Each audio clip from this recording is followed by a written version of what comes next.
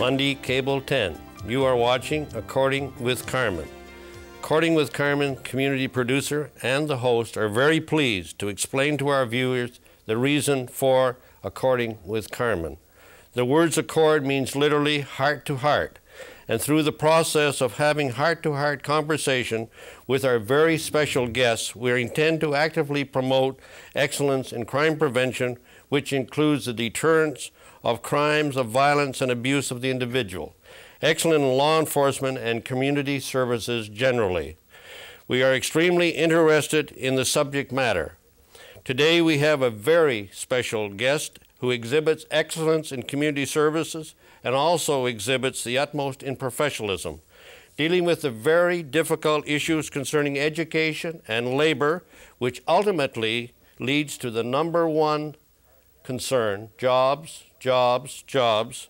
Our guest is very well liked person who happens to be a favorite provincial politician who always deals with the public in a professional manner with a sense of humor. Please welcome our guest, Honorable Vaughan Blaney. Welcome, Mr. Blaney. Delighted to be here, Carmen. I'd like for you to explain to the viewers a little bit about your background. Well, first and probably most importantly, I'm from the, the greatest little village in Canada, the little village of Gagetown down on the River Road. Uh, I'm a, a former school teacher. My wife's a teacher. All four of my kids are school teachers. So I, I guess uh, I guess that's probably the important thing. I went from uh, teaching school uh, in Gagetown uh, to becoming a member of the Legislative Assembly in 19, 1987. So it's very fitting that you get this portfolio. It's a very relevant portfolio to your background, isn't it? Yes, I, I think so. But I think maybe the, the first four years that I spent in government probably had the greatest influence on the, the work that I'm doing now. And as you well know, I spent four years as the, as the Minister of Environment, and that was a, that was a very uh, on the front burner type of uh, department at that time. And I think that probably positioned me to, uh, to attempt to do the things I'm doing now in, in my new department. Right. How important is community colleges to the province of New Brunswick? Well, community colleges uh, are, uh, are a very, very important element in the, the network of, of our post-secondary education. Uh, they're, uh, they're equally important to, uh, uh, to our universities, to any of the other institutions of, of, of education that we have. And they're all part of that kindergarten from you know cradle to grave. Mm -hmm. So they play a very very important role, and the role has changed, and the role is changing as we as we speak. The demands uh, and the developments in technology and telecommunications and what have you. It's of the great importance that our community colleges keep pace with the changes in our society and in our markets, as well as our universities. So I would like to think that not only has the role changed and their importance has been heightened, but I think you'll find a, a great degree and maybe even a greater degree of cooperation among all our various uh, post-secondary forms of, of instruction as we all try to, uh, to provide the very best training, skill development, learning uh, for our young people to, in order for them to, uh, to fit into our society. It seems that uh, look around, that some of the people that's coming out of community colleges have more opportunity for jobs than people coming out of university today. Is there anything you'd like to comment on that? Well, I don't think it's uh, it's fair to uh, uh, maybe to speak of it in, in, that in those black and white terms. Mm. I think that there are things that our community colleges do that prepare students more readily for the market. Mm -hmm. They're more focused, maybe in a number of the courses, a number of the technologies uh, businesses and industry appreciate someone who has spent two or three years specializing, then they can take that candidate right. and they can mold them to, uh, to their style and their business. Mm. But that does not take away from the fact that uh, university graduates in the long term of, of a life experience right. have the greater opportunities and do very, very well. So they both do quite well, but there's no doubt that the rate of employment for our community college graduates remains very, very high. Yeah, that's great. Can you tell us what changes you see in the community college in New Brunswick? Well, I think the first uh, would be this, the, my opening comment, our, our ability and the, uh, the speed at which we're changing uh, the philosophy, the makeup of courses, uh, courses that you and I were familiar with. Uh, really, I'm not going to suggest they're dead end. They're, they, they're just, they just don't fit into what's happening today. Mm -hmm. So I think that that's been the greatest change, that we've been able to adjust to the demands of the market and to, to our society and to the, the, the economy. I think that there are great changes in our distance education. We've taken the walls literally down, and we've moved out into the communities with more, uh, with more emphasis. So I believe that that, coupled with the access and the fact that we have not moved quite very well in the last 25 years in, in gaining access for our, for our young people in New Brunswick, I think that that deliberate move to add seats, to make our courses more accessible, I believe that uh, that's the combination of the greatest changes in our community colleges. What about accreditation? Very important topic. I, I toured the province in March and uh, I held 40 some public meetings, and I would suggest that the two issues that came up every time number one was the lack of access, and number two was accreditation. If I interpret your question to mean what about the transfer of credits and what about those types right. of things, uh, we have made great progress. The universities, the community colleges, our high schools have been meeting regularly now for the past year. We've established a paper on accreditation, the transfer of credits, so that regardless of where you go for your training, be it the private sector or whatever, we've, uh, we've now started down the trail of total acceptance by the other institutions. Plus, we've, we've given great attention to prior learning experience. A plumber for 19 years has been a good plumber, quit school in grade 9 uh, why should he suddenly or she have to start all over? We now have in place the ability for that individual to come to our registrar and say, look, I quit school in grade nine for all the reasons that you and I know, yeah. but I've been a good plumber, but that industry is now closed up on me. Do I have to start over? Can you give me some kind of credit? We're now positioned to give him total credit for that prior experience so that in fact that individual does not have to start over. And uh, that's been well received by our people. I think so that's excellent. accreditation takes a number mm. of uh, a number of twists. Yeah. What about teleeducation?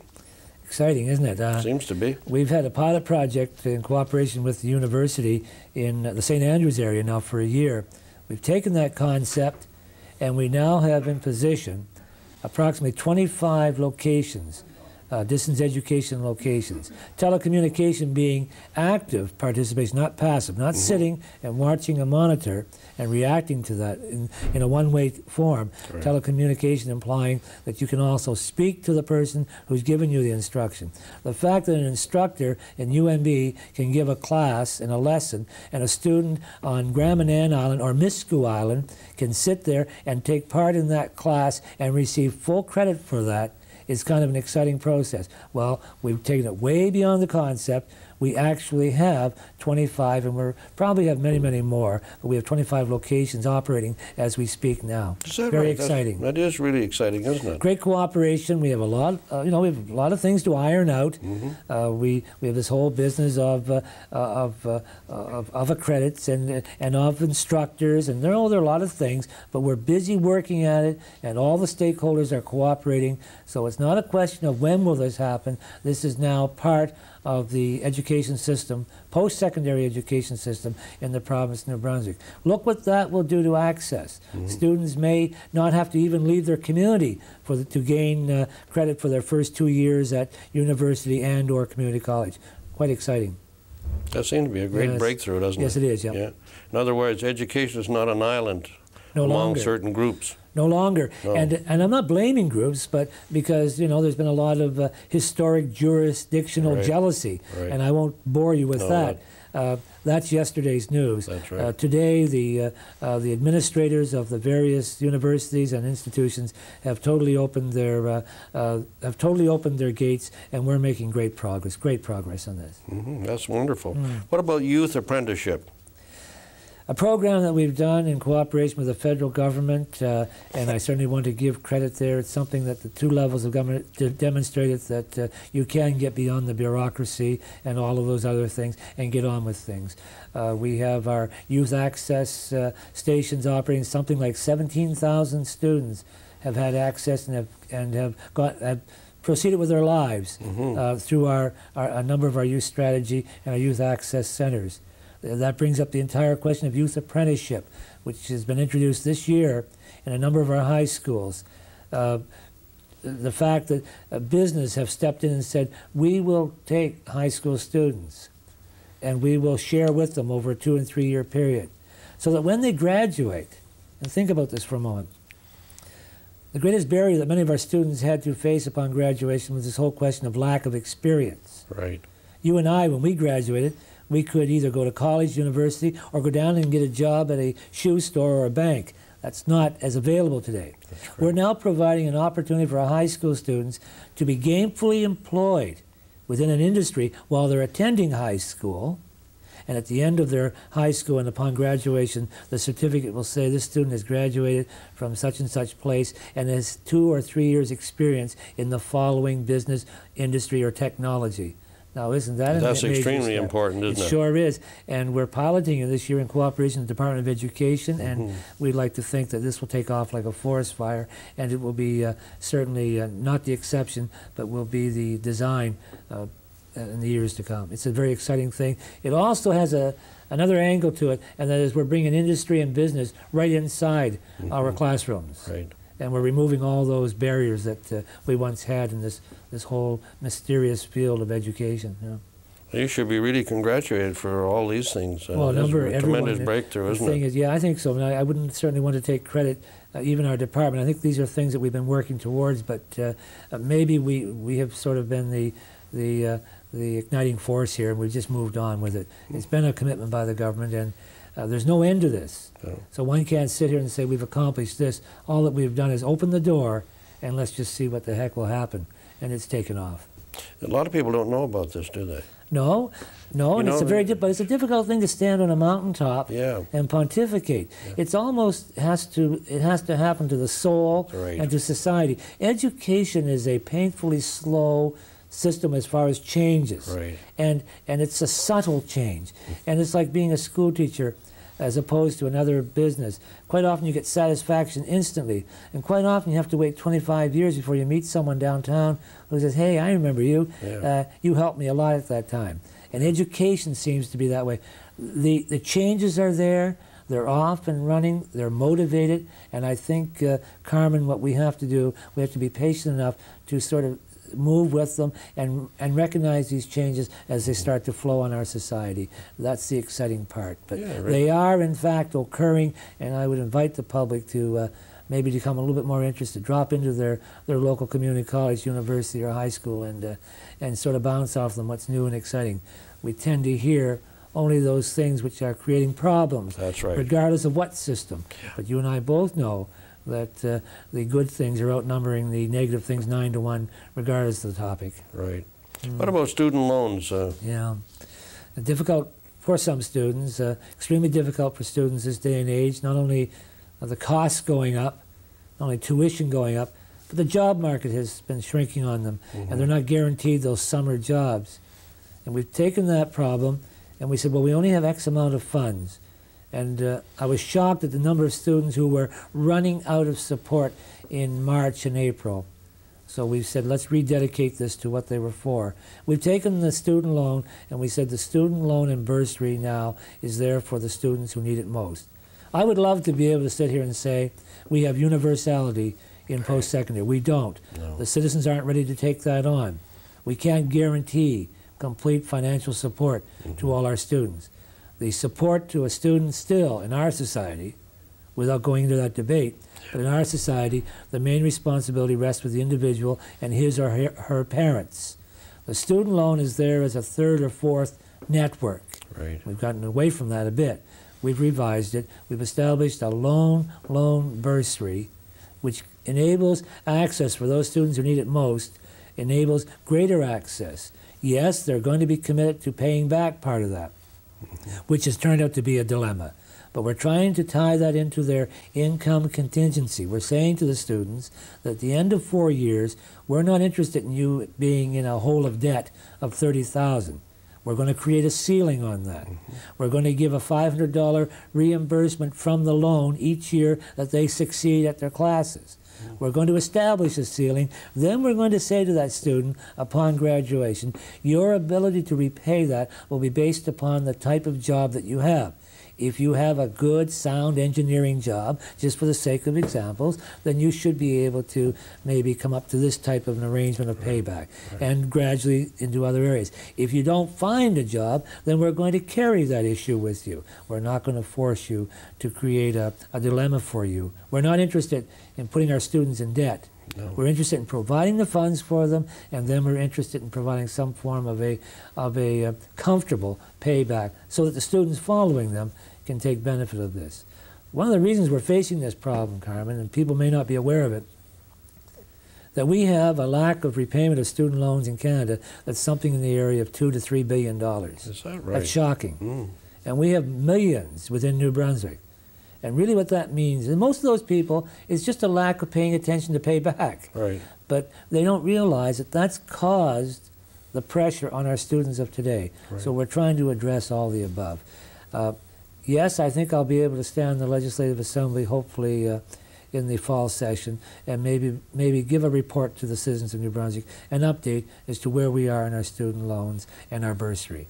It continues to be a very stressful part for our students, but we hope, we hope we're preventing our colleges and, and universities from becoming elitist. I am not the least bit interested in us going back to the day when only those who come from very comfortable homes could afford to go on to post secondary. Let us never fall back to that. We have to keep addressing that. Well, it's very incredible, isn't it?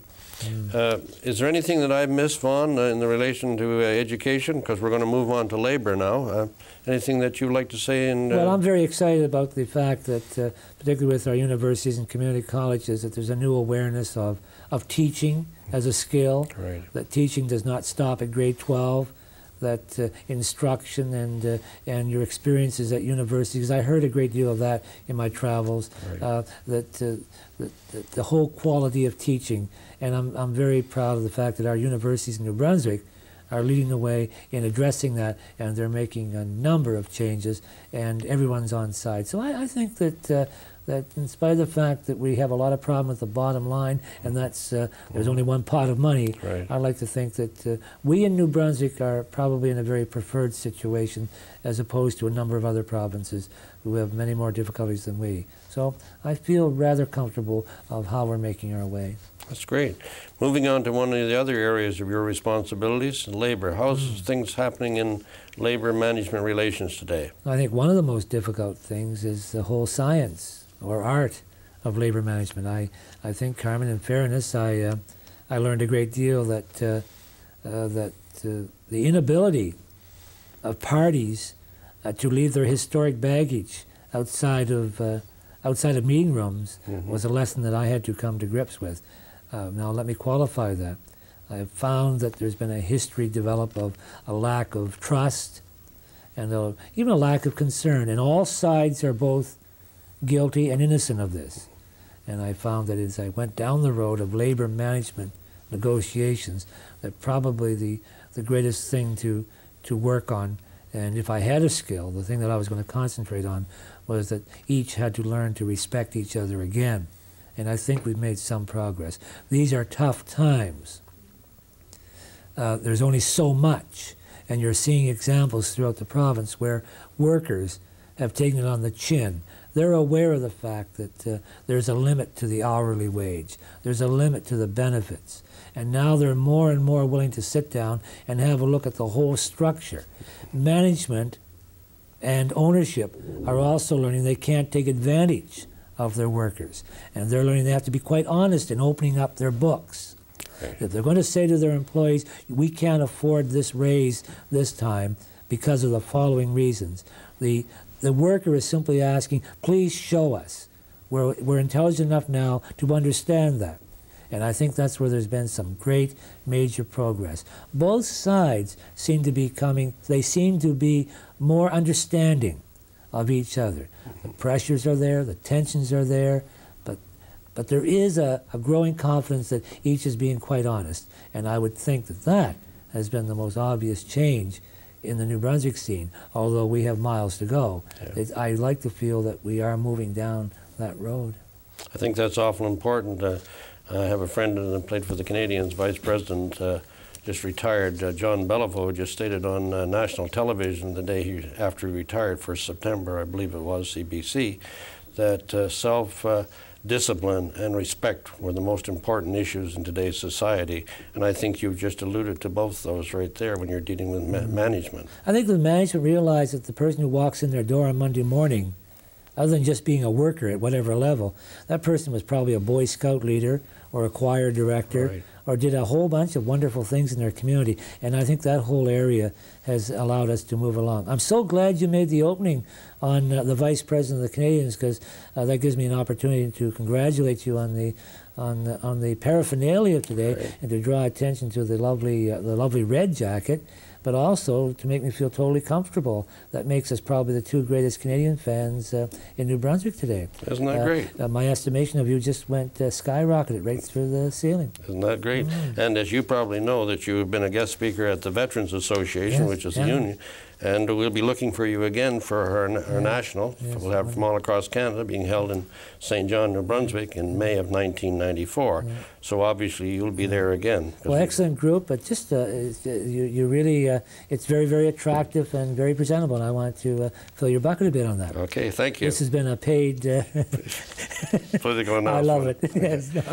Now, how did you get these two departments together, and how are they working, education and labor? It was quite simple. The boss said, uh, "If you want to stay in cabinet, you can you can you handle two departments, which had always they've always been one or uh, the separate, Separate, right. advanced education and labor." So uh, the decision wasn't uh, it wasn't discussed in great detail uh, in the in the analysis of where we could downsize cabinet, and there was a lot of thought put into it. Right. Uh, obviously, those who make those types of decisions felt that there was a natural home, and surely enough, there is, because there's so much they could learn from each other. This whole business of advanced education, training, skill development, those catchphrases that we use today, almost a total tie-in with labor, unions, the closure of a pulp mill in Atholville. What do you do with the 400 people? You have to start offering them a new, new skills and new options. So there's a natural home uh, for that uh, uh, for that amalgamation of advanced education. It's a difficult one, but uh, there's a, it's a very comfortable relationship. And they got the right man to do it. Oh, I would. What about entrepreneur programs? Yes. Well, we offer a number of good programs, and probably the one that's gained attention the past little while has been the entrepreneurial program because of Business Week and so on. That's a, that's a program where we offer to people who have an idea. They come in, there has to be a market, they have to make a market plan and so on. We offer them a guaranteed loan for two years up to about $10,000. dollars mm-hmm. There's no great risk to the citizens of New Brunswick. The success rate has been great. And uh, I think just last week, many people in Fredericton area would have noticed uh, up in the Fredericton Mall um, a few uh, booths that were demonstrating the work that these people uh, uh, provide. It's a chance to give them a boost. They're unemployed people. They have a tough time sometimes getting the the uh, the security and support of some of our loaning agencies, banks, and I understand that. But they have a good idea, and they've worked on it. Now we've taken a step more with our summer school students. We provide a program for them, and it's happening in about nine or ten locations in New Brunswick. For the first summer, they work in the classroom. They have speakers. They develop a plan, and they market it, and they do the analysis. In the second year, they take that plan and they actually create an industry around it. And that's a fascinating experience. And that's somewhat of an offshoot of this entrepreneurial spirit that we're developing. So it is one of our uh, most exciting areas, the entrepreneurial uh, program. Well, and it seems to me that they probably just give you just about everything in government. You got the Workers' Compensation Act too. Can you tell us a little bit about that? Well, of course, that's uh, that's not a that's a peripheral uh, uh, responsibility. We have a deputy minister and a commission. Uh, it, along with occupational health and safety, have been going through some uh, tremendous changes and some stresses. Uh, we were uh, we were headed to a point where we had, in fact, we had a chance to lose our workers' compensation because of the the, the, the burden of debt that it was creating, and uh, the new uh, the new uh, chairman uh, through the auspices of my department, I think, has changed and turned things around. Not without pain, and the first wave of pain was felt by some of the workers, but we didn't want that to be the message. There had to be equal responsibility taken on by the employers as well as the employees. And I, I think that we're now reaching the stage where people are understanding it and, and, and they're starting to accept that there were abuses, Right. and we simply have tried to remove those. And we've worked on case management, And we're working, we're working more directly with the individual with the aim that we're going to do everything we can to get you back into the workforce. I would think that there's been a period where that was sort of lost. And uh, we're, we're working very hard at the workers' compensation uh, mm-hmm. concept. And our, our sistering that, of course, are the uh, advances that we're making in occupational health and safety, and together they uh, uh, they're all part of that whole area right. of prevention. Right. And uh, I'd like to think that we've twisted that around, and financially they got their house together, and I'd like to think that legislatively we're moving on. Uh, we still have a lot of educating, right. and we have a lot of work to do with a number of the different stakeholders. Did you know we're almost running out of time? I knew this would happen. In 30 seconds or left, could you tell the public what you want to, them to take away from today? Well, I would just like to, for them to, uh, to have the comfort that there are those of us uh, who are just working as hard as we can and, and that we're as accessible as what you and I are doing here, and that uh, uh we all, whether we're the, uh, the, uh, the ratepayers, taxpayers, constituents, or happen to be in the position of decisions, we're all just part of trying to create a better world for our children and our children's children. And we should never lose sight of that. And that maybe it's just a good idea to leave our egos aside and just keep on keeping on. I, I would like to just leave it as, as informal and as friendly as that. We're their servants. Right. And when we stop believing that, then they'll let us know every four years. Right. Well, it's been a pleasure, Honorable Vaughan Blaney, to have you on, and I hope you come back again, a true professional. And uh, I have a public service announcement uh, for the uh, local police and for Child Find New Brunswick, Jaycee Dugard, date of birth May the 3rd, 1980, missing since June the 10th, 1991, from South Lake Tahoe, California. I've been there, it's a wonderful place. If you see anyone uh, fitting this description, which is going to be shown on the screen right now, would you call Child Find New Brunswick 459 7250 or your local police department. Join us again next week. According with Carmen, your host, Carmen Kilburn. Good afternoon, everyone.